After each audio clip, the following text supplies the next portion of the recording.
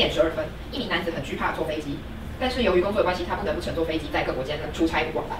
他每次都对于时差现象特别的不适应。有一次他来到了一个跨洲的国家之后，下飞机看一下手表，显示的是早上七点十二分，随即他就哭着自杀了。请问为什么？他的身份很重要，对不对？身份不重哦，不重要吗？他错过了什么吗？他没有错过什么？搭错车了吗？就搭错飞机吗？嗯没有。还是你原本就是要去哪里自杀？他是炸弹客。他炸弹客，他应该要杀别人啊。嗯，七点十二分了。哦他应该要在飞机上就要。耶！啊，还是他是他放了一个炸弹，然后设定的时间是在七点十一分要爆炸，然后他那个后悔了，想要去把那个炸弹关掉收起来，结果他搭飞机时间不对，来不及，他下飞机七点十二分了，他已经造成一种憾事，所以他觉得很内疚，所以自杀了。哎，答对了，哎，不对，他没有要害别人。他是因为看到时间才自杀的吗？哎，有关系，但不完全是。他那个他搭飞机，因为他说跨州，他来到北极洲，因为通常呢早上七点应该是天亮了，可是北极可能他到他从冬天去，所以他现在就是永夜的状态，就算早上到了，他还是晚上，然后就以为自己瞎了就自杀了。哎，答对了，哇，哎、真的哦、真的。念一下答案。由于是跨洲的国家，早上七点十二分可能是当地的晚上。由于对于时差现象特别不适应，那个人的眼睛本身也不太好，对于时差现象没有反应过来，所以以为是自己太过劳累，所以眼睛快要失明了，绝望之下就开枪自杀。好脆这弱。枪怎么来的啊、好猛哦，米雪，超猛哎！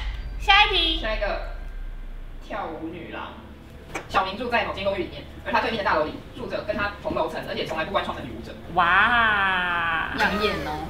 女舞者每天都在靠近窗边的地方不断跳着舞。小明就心里想说：哇，果然是舞者啊，这么勤于练习。但过了几天之后，警方找上小明，问他认不认识对面大楼的女性舞者。后来得知，原来她早就自杀了。请问，哎呀，我知道了，啊？什么？我起鸡皮疙瘩了。是不是很简单一句话？对两句话。他有精神分裂吗？他有没有？他有发疯吗？没有，他很正常。他有看到鬼吗？了没有。哦，我知道了，好，你说。还是那个那个女舞者被灌了什么蛆，然后里面有虫在控制她你不知道，你不知道对，没有这个解答非常的单纯，很简单，对不对？但是很恶心。对不对？哦，杀人，把他杀了，然后强尸奸他，他不是自杀吗？他不自杀 哦，是被杀，啊，自杀怎么还会动？哎，对，为什么会动？他把自己绑在像小木偶一样，他觉得死了也要继续跳舞。但是小莫为什么会自己动？我只想到前半，我好像没有想到后半。哦，他上到自杀挂着嘛，然后有风吹来，所以他就这样飘。为什么？为什么风吹会飘逸？在哪里？在在阳台啊，把窗户打开啊！起鸡皮疙瘩。可是他站在地上，为什么会这样摇？他站在地上啊，他不是他不是他不是上吊啊，上吊？挂着。但他是看起来像跳舞的样子。我知道了，他上面绑一个电风扇。对，绑一个电风扇，他跟着电风扇转吗？他是上吊在吊扇上所以他在转的时候他就一直在那。以为他在跳舞。哎呀，哎，我鸡皮疙瘩哎，这题超可怕哎，有画面哎。我把画面赶出去了，啊，我想一点别的，想一点别的。过去怎么赶？出去了，出去了。你赶去比学弟。下一题，好狠哦。三兄弟以前有三兄弟，大哥二哥是双胞胎，三兄弟的关关系非常好，常常一起睡觉。嗯大哥病死之后，三弟就把二哥杀了，为什么？他们觉得他们是生命共同体，同生同死同进退。这个这题也蛮恶心。跟女人有关吗？没有，不要看我跟可雷尔说，应该是这个吧？有嗯，嗯嗯，好，好，他有认错人吧？他他可能半夜起来，大哥你怎么还活着？吓死人了，然后就把他干掉了。不是，他们真的感情很好。舍不得二哥每天朝思暮想他大哥，所以同情。给你一个方向，弟弟蛮自私的，我要妈妈只爱我一个，我，不是这种自私。因为我看到大哥二哥，我觉得想到大哥，我觉得心里很痛。我感觉突然，嗯，但不是。他梦游啦，又梦游把二哥杀了啦。没有，他意识清楚。他们这样子三个人睡觉，他在哪？中间吗？对，哦，这样他的他就可以霸占一个床，是吗？不是，挂了，活着，为什么要把他杀掉？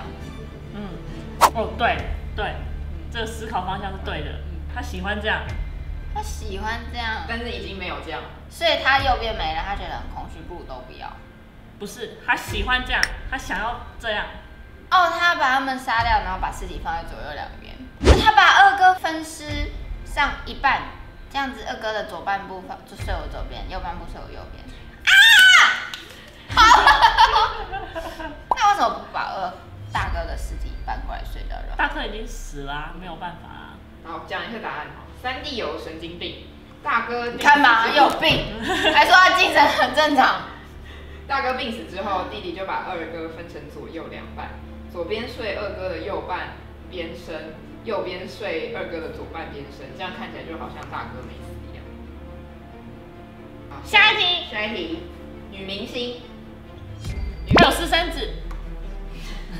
女明星养了一个女儿，从小都她时不时都会给她女儿戴一帽子。有一天，她带她女儿去医院的时候，女儿知道医院，呃，女儿在医院知道真相之后就自杀。她秃头，她妈不敢跟她讲。她秃头应该知道吧？她自己应该知道吧？戴帽子？为什么要戴帽子？他头上怎么了吗？女儿是色盲吗？没有，女儿没有病。他的头是他妈帮他，他妈的头不是他妈帮他缝上去的。啊啊？不知道，是画皮吗头吗？发头发缝上去。女儿有头发吗？有，她不是一直戴着，她是时不时戴着。时不时戴着。戴帽子的时候是有事情发生的时候吗？不是，只是想给他戴。不是，也不是单纯的只想给他戴，有一个目的。那个帽子呢？妈妈是一个杀人犯，帽子是人皮做的，所以他杀人之后就会把人皮织成帽子让女儿戴着，那他为什么不一直让她戴着？因为没有新货啊。妈妈是杀人犯吗？不是，他妈要让他女儿假扮是他，不是好的目的。因为他妈要陷害他。戴帽子就可以陷害人？那你整天在陷害你自己。我没有这样的一个妈妈。是有坏事要发生在女儿身上吗？呃，对。妈妈想把女儿拿去卖，那为什么要戴帽子？戴帽子表示可以买。那你可以买，可以买。女明星很自私，又是自私的人呢、戴帽子是一个标准，就是她达到某个程度，他要去的地方有身高限制，戴帽子会看起来比较高，然后就可以超过这个身高限制，他就可以进去。时不时？云霄飞车。是想让别人把女儿认成是他吗？不是，想要让女儿红，女儿红，这样他就可以赚钱。女明星觉得女儿长得很漂亮，然后用帽子呢来测女儿的头围跟自己有没有一样，如果一样的话呢，就来换个脸，让自己变得更年轻漂亮。哎、对，屁呀、答案就是女明星毁过容。她养女儿主要的目的是因为得到她的一只脸皮，然后可以移到她身上。然后那顶帽子呢也是她自己的，时不时给她戴是因为要测量女儿的头部大小，如果一旦符合的时候，就代表她脸的脸皮的宽度刚好是跟她的一样。你好变态哦！这谁想得到啊？你这是做得到的，脸皮移植是有这个东西的。你瞎蒙哦，好扯哦！好，来下一题。下一个，两个军官，某次战争中杀人无数的两个军官被困在了荒野里面，他们孤孤苦无助，被恐惧互相取暖。啊，没事，对不起被哦。不是吃那样的肉，被恐惧 和绝望快逼疯了。偏偏其中一位没熬得过去，先死掉了，另一位更加陷入绝望之中。他将自己的战友埋了之后，精神已经崩溃。更可怕的是，第二天的早上，当他醒来的时候，发现死去的战友竟然正坐在他身旁，用同样绝望的眼睛盯盯着他。请问怎么回事？死掉的是他自己，他的是灵魂，死而复生了，还是他埋错人了？死掉的是，好诡异哦。死掉的是别人，他们两个其实都死了。没有，不对，战友还活着？他们遇见珍珠美人鱼。唱歌。那要唱七彩的回归吗？你刚刚问什么？你说他还活着吗？他他的战友是死的，没错。他有通灵，他晚上呃失眠或者是梦游症，就把他的战友挖出来放在同一个地方，想说那有人有人有人这样比较温暖，忘了自己做过这件事情，隔天早上起来就被想。啊，你又死了，然后我再把你埋起来。对，大概就是这样。